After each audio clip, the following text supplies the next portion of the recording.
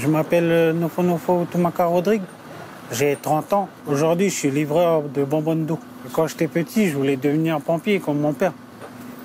Et après, par la suite, ben, j'ai pris une autre branche en grandissant. J'ai eu mon bac pro structure métallique chaudronnier. En sortant de l'école, ben, j'étais je suis rentré dans une entreprise de charpente. Elle a fait faillite et du coup, du jour au lendemain, ben, je me suis retrouvé à chercher du travail.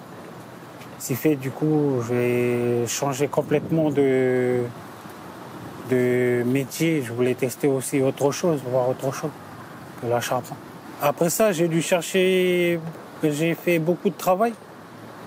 Et au fur et à mesure, je me suis rendu compte que ça me plaisait beaucoup le faire du commerce du commerce avec euh, voir d'autres personnes, des clients et tout ça, le contact avec les clients et tout. Mon métier consiste à livrer les bonbonnes chez les, dans les sociétés et les particuliers. Je fais aussi un peu de vente. Je vends un peu euh, tout ce qui est sirop, café, à côté des bonbonnes d'eau. Il n'y a pas que de la livraison. Hein. On démarche aussi un peu de, des clients. Cette partie du travail me plaît aussi beaucoup.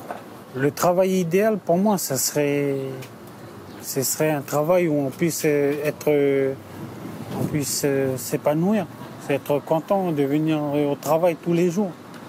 C'est pas seulement venir travailler par intérêt pour gagner de l'argent. C'est, un travail qui fait que je viens tous les jours parce que je suis content d'être là. Pour moi, aujourd'hui, c'est, c'est, c'est le cas. Parce que je viens au travail, j'ai une bonne ambiance avec les collègues. Quand je rencontre les clients, ben c'est, c'est pareil aussi, ça, ça donne envie de revenir livrer tous les jours. Et... Ah, ce qui me plaît, c'est aussi le fait qu'on bouge beaucoup. Des fois, c'est très physique. Même les clients, ils se rendent compte que c'est un travail très physique et qu'ils l'apprécient.